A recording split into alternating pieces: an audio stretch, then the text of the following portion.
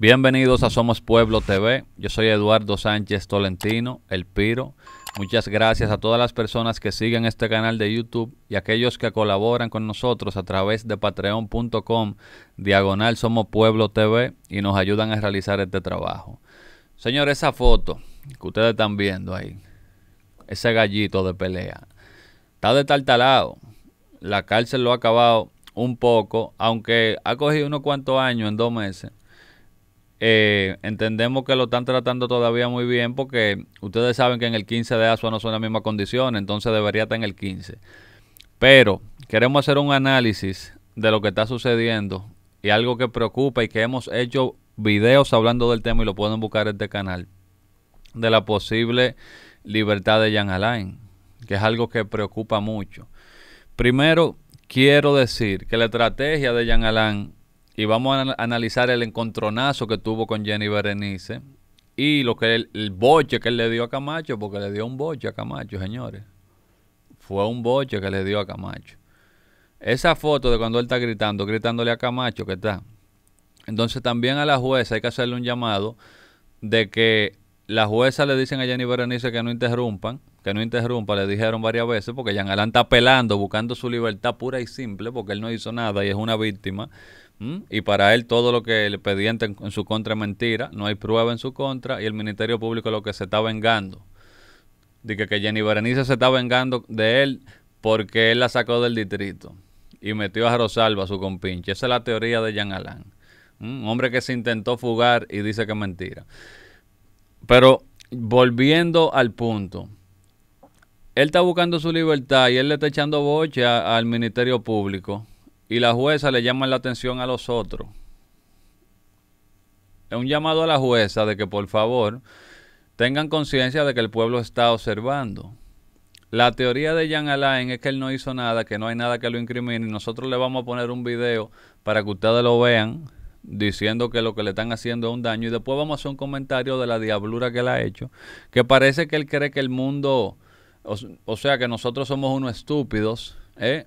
y que nosotros, miren, si a Jean Alain no paga consecuencias, si Jean Alain no paga consecuencias, aquí puede haber una situación en este país.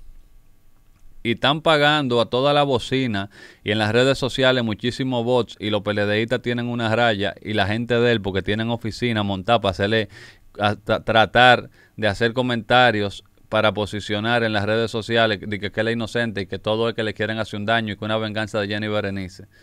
¿Mm? Jean Alain, a usted no le cree nadie.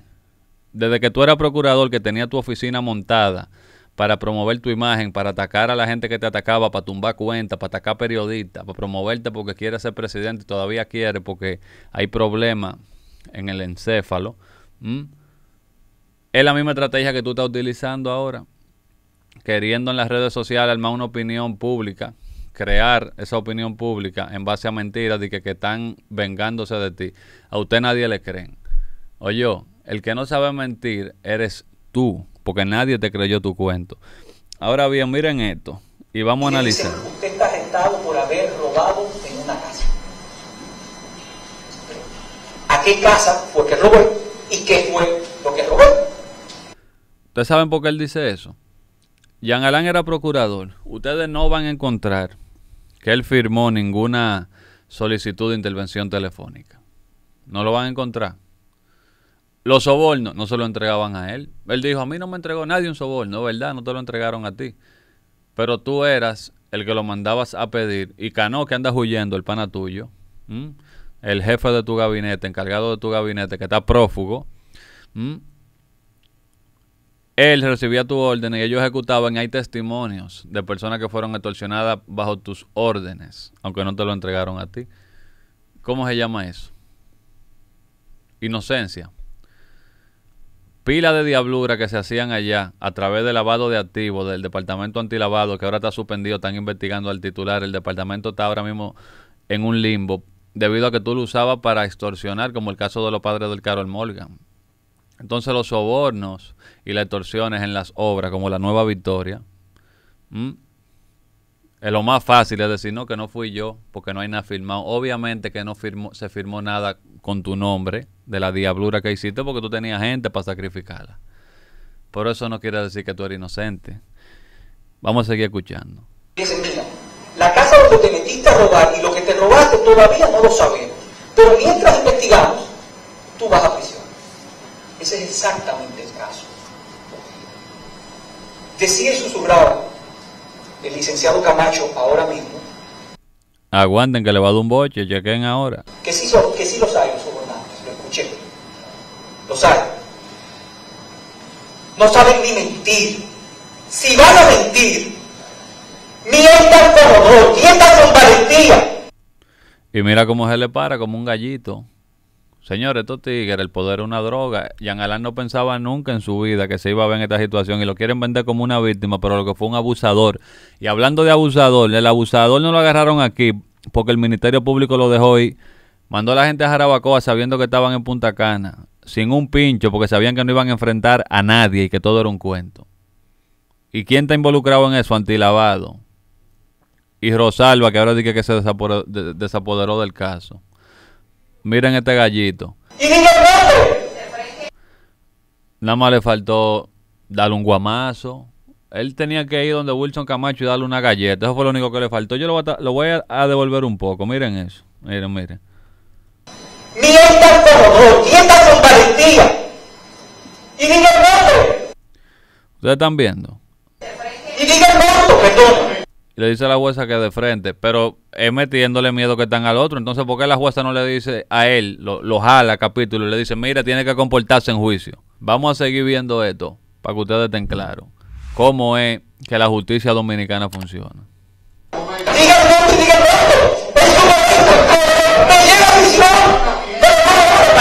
Que digan nombre y que digan monto. Jean Alain. Pero claro que hay nombre y que hay monto. Y hay, hay empresarios extorsionados. Porque él está diciendo que no están llevando a los empresarios. Lo que queremos es que jalen a Macarrulla, el pana tuyo. Para que él vaya a hablar. Y que jalen a todos los otros también. Y hay nombre y hay monto. Y hay gente que lo ha confesado. De los cuartos que le entregaban en funda a la gente tuya en el movimiento Renovación y fuera de la Procuraduría. Ok. Hay monto y hay nombre. Seguimos. Así que miente tú con coraje, mírate ahí.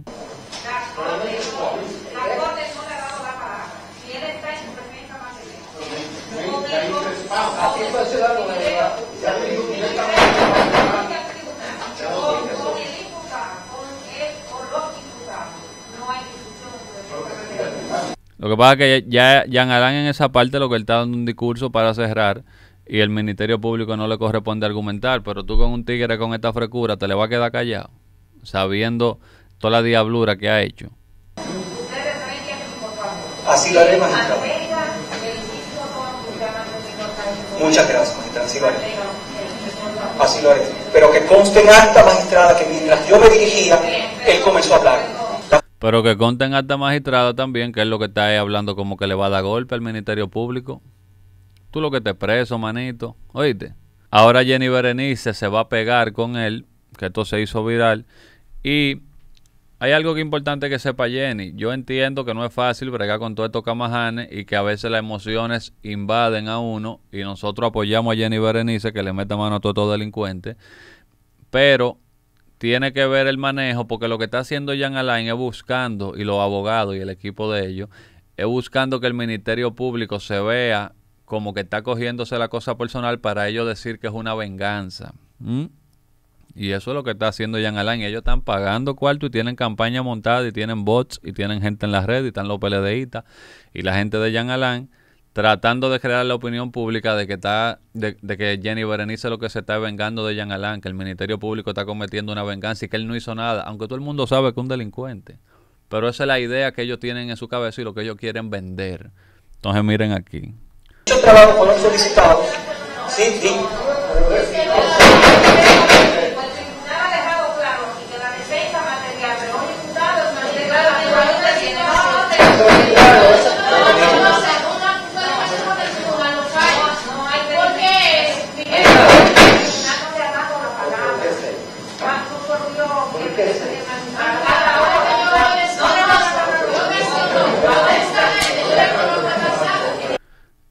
Jenny lo que le está diciendo que Jean Alain está hablando mentira. La jueza le está diciendo que aquí no se argumenta porque lo que ya él está es cerrando. Ya no le toca al Ministerio Público hablar. La jueza tiene razón.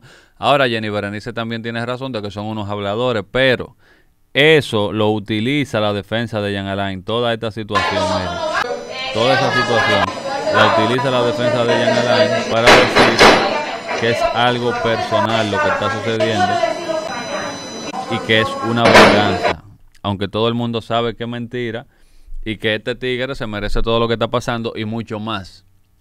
Mucho más. Porque esto es chilata lo de este caso. Así que queríamos hacer este breve análisis. Hoy es que se va a fallar. Hoy se falla esto. Esperamos que él siga ahí dentro, pero ojalá que no se confirme lo que nosotros tememos de que este tigre le den libertad. Porque él tiene Oigan bien, en este caso, legalmente hay muchas cosas que son difíciles de probar hasta el momento, pero que hay mucha gente que tiene testimonio, muchísimos empresarios que han sido sobornados, que han sido, perdón, extorsionados y que han pagado sobornos, que están dando declaraciones y que van a ser testigos ya cuando se, se haga el juicio de fondo. Pero en esta solicitud de medida de coerción, o en esta, perdón, en esta medida de coerción que ellos están cumpliendo, están buscando su libertad y el pueblo no, le va a gustar si de este tigre se va para la calle. Aquí puede pasar una situación. Así que vamos a dejarlo ahí veremos qué sucede el día de hoy. Somos Pueblo Media, somos Pueblo TV. Gracias a la gente que se ha suscrito a este canal. Gracias a todos que nos apoyan a través de patreon.com diagonal Somos Pueblo TV. Y seguimos. Somos Pueblo, nos fuimos.